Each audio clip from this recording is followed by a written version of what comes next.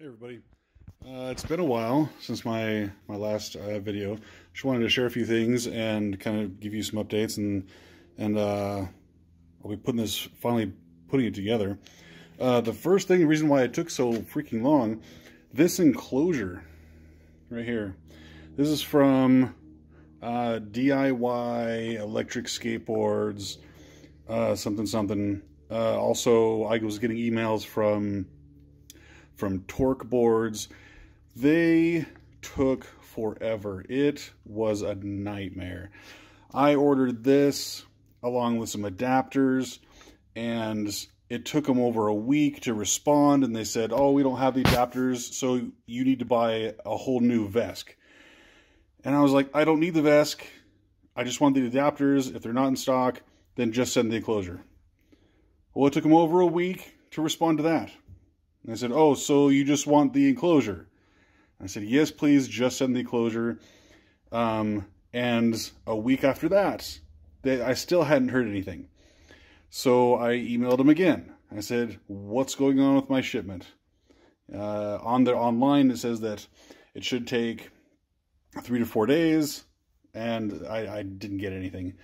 So I emailed them again, and uh, a few days later after that, I finally got an email notification that it was the, the enclosure had been shipped and they refunded me the, the adapters, even though the adapters are still on sale on their website. So just, I wouldn't, I'm never going to order from them again. It's just, it's been a pain in the ass. Anyway, so that's, that's why uh, you can see that I've kind of, I've already put some holes. I had to put some holes in it because it didn't come with the holes. But I put the, uh, power switch there, uh, the the the plug for the battery there, and here in a minute I'll I'll hook up the uh, uh, the sensor wires for the for the motors. But I wanted to show you that um, I ended up using, and right now I just have it I have it screwed into the board with some glue. But I wanted to find something that would act as a seal between the enclosure and the board. And I couldn't find anything really. So what I ended up doing was I went and found one of these, uh, the rubber mats they usually get for like anti-fatigue uh, on the floor. And I just put the, put the enclosure over the top, traced around it, and you can see the mark right there. And then I just cut.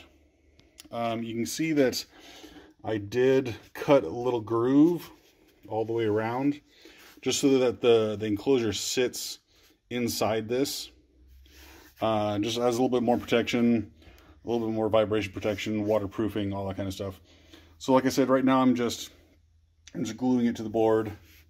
Um, and then I will hook everything up, make sure that all the connections are correct with the motors, um, and then screw it back down to the board before I get to work on the, I need to get the, the battery, the battery uh, adapter. That's going to go on the other side. And then the wire is going to come and plug into the enclosure about here. So, oh, uh, I'll be right back. Okay, so I'm back. Got the enclosure all stitched up. So I ended up taking a uh, a little solder gun and just etched, you know, heated up that little channel so that the enclosure would sit nicely just right in that little little seal. And then I put the screws in. You can see little nut there on the bottom side where it's attached to. Um, so yeah, it came out nice. It's nice and firm in there. Uh, it's not going anywhere. Uh, I still need to seal up where the wires come in a little bit. Um, it's actually on right now, you can see.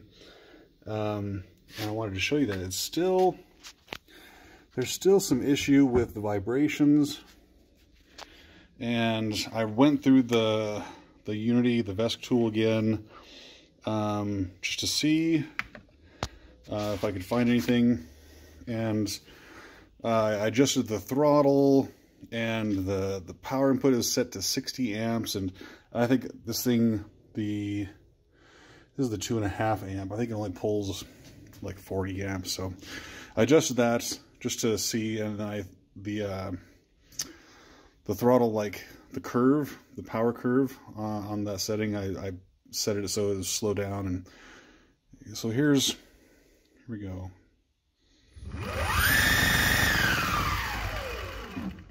Nice. Still vibrates a little bit, but uh, it's looking good. Now I need to do next is attach the this power adapter. I'm going to actually attach it to the to the top and then have the wires run down and then I'll uh, secure them to the bottom here. But that's next. Um, one thing I, I don't know if you guys need it or want it, but then I'm not getting paid for this either. So just so you know, this right here, this little electric by Ryobi, the, the air pump has been invaluable. If you don't have one of these, I suggest you get one. The other thing that's been really awesome has been has been the uh, the wireless uh, or the cordless wireless, the cordless uh, suit hot glue gun by Ryobi as well. Just so it's been really easy to use. I like them. And of course, the little soldering iron uh, heats up really well. Um, I've actually got a few of the Ryobi products just since last Christmas. They've been working really well. I've been really impressed. And um, if you've ever wondered about them, don't want to just grab one. They're really easy to use and so handy than doing a manual hand pump. Anyway, um, I'll be back here in the next video to show uh, putting this together and uh, some test rides. Okay, just wanted a real quick video. I was playing with this after uh, I finished that last one. I wanted to uh, see how it went in the, here in the backyard and uh, the grass is dead and probably not the best environment, but I wanted to see how well it works. So here we go. So I'm just gonna send it off that way. Okay, ready? Set. Ooh. That was nice.